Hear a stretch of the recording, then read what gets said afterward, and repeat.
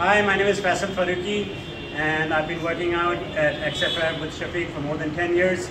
I'm the CEO of MouthShut.com and an entrepreneur, but I really have to spend a lot of time sitting down on my desk, so XFF really keeps me fit.